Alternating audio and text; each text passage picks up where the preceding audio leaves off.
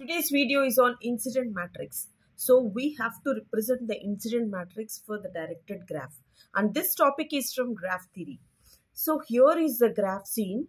So in this graph, first of all, we have to check how many vertices are there and how many edges are there. See, if you see this graph carefully, V1, this is V2, V3, V4, V5. They are five vertices and how many edges are there? So this is E1, E2, E3, E4, E5, E6, E7. They are seven edges. Edges means lines and vertices means dots. So they are five vertices and seven edges. So we have to represent the incidence matrix here. So for representing the incidence matrix, all the edges should be on the top and here the row wise are the vertices. So V1, V2, V3, V5 here and E2, E7 on the top as columns we have to represent.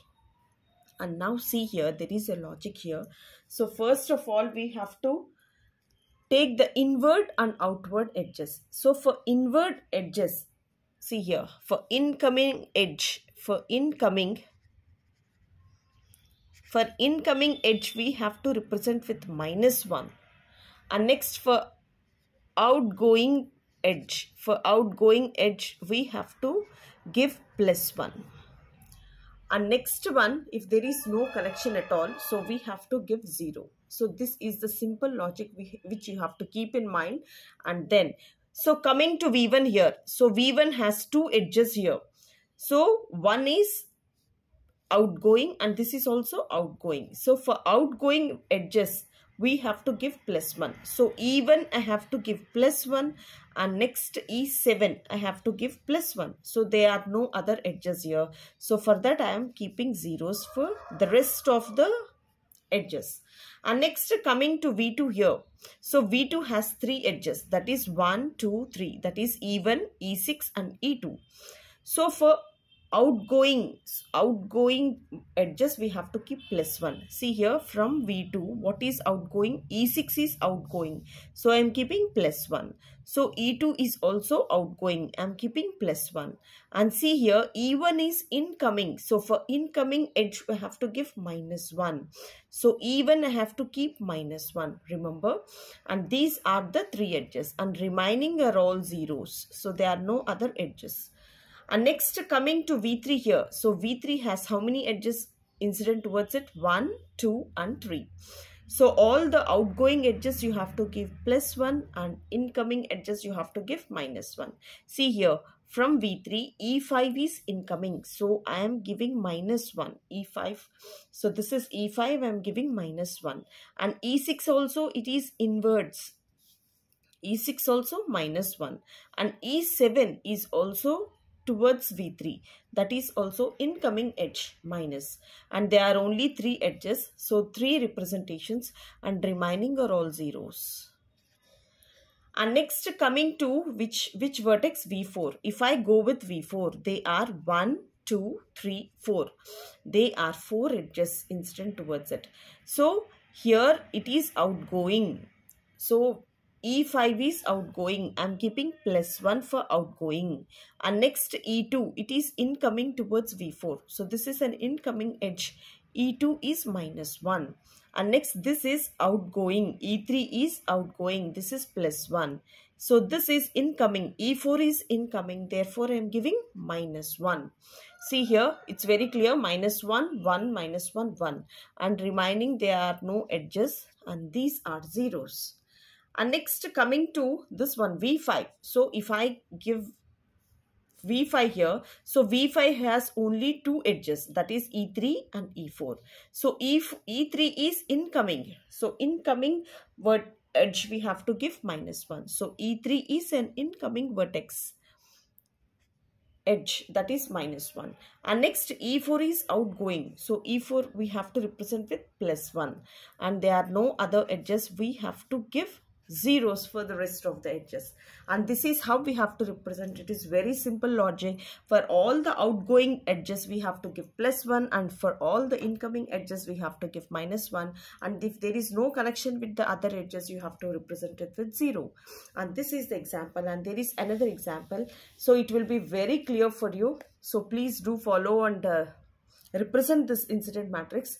And here is the graph. And first of all when you see the graph we have to count how many vertices are there. So this is v1 v2 and here it is v3 v4 and this is v5 so this one and see this one is v5 so total v1 v2 v3 v4 and v5 total 5 vertices are there. And how many edges are there?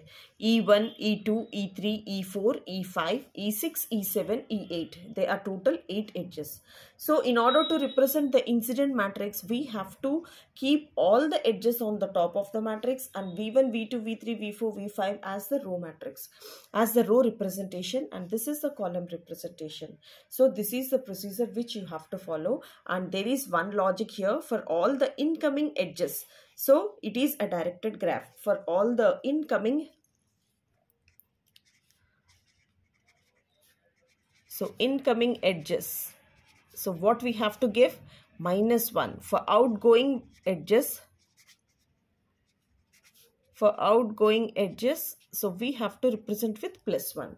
So this simple logic which you have to follow. So this is vertex V1. So I am going with vertex V1. So vertex V1 has three edges that is E1, E3 and E2.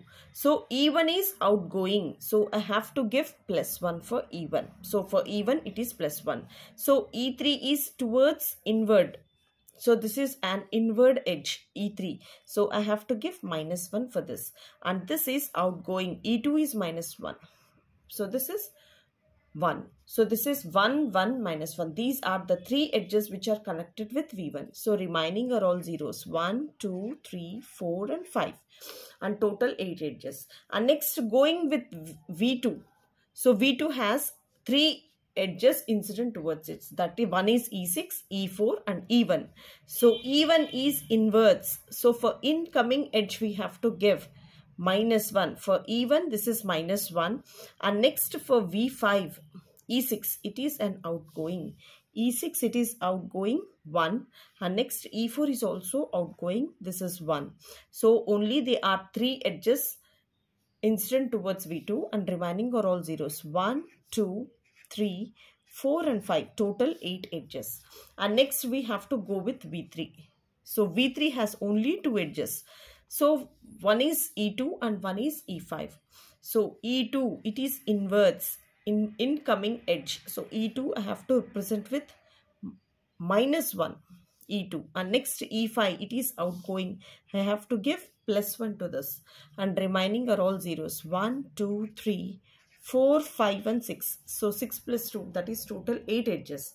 And next coming to V4 here is V4. So V4 has 1, 2, 3, 4 and 5. 5 edges. So this is E7. So first of all E7 is outwards. So for E7, so this is an outward edge and therefore I am representing plus 1. So this is E4 incoming. So for incoming edge I have to give minus 1. So this is E3. This is outgoing. So I have to give plus 1. And next E5. So this is incoming towards V4. So this is e5 I have to give minus 1 and e7 e4 e4 it is also inverse e8 so this one is e8 so from v4 it is outwards or uh, I am giving plus 1. So 1, 2, 3, 4, 5. Remaining are all zeros. So these are the zeros and next one going to e v5 so vertex 5 so it has only two edges. So one is incoming e6 is incoming. So e6 incoming this is minus 1 and next this is also incoming. So e7 is also incoming. So there are no other edges. 1 2 3 4 5 6 7 and this is 8 and this is how we have to represent the incidence matrix. So for all the incoming edges keep minus 1 for all the outgoing edges keep plus 1 and if there is no connection with any other uh, remaining edges you have to keep 0 and this is how we have to make an incidence matrix. And hope you all guys understand. Thank you for watching and following this video. And if you really like please pass it on to as many friends as you can.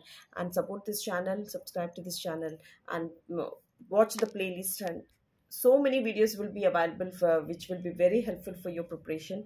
And thank you so much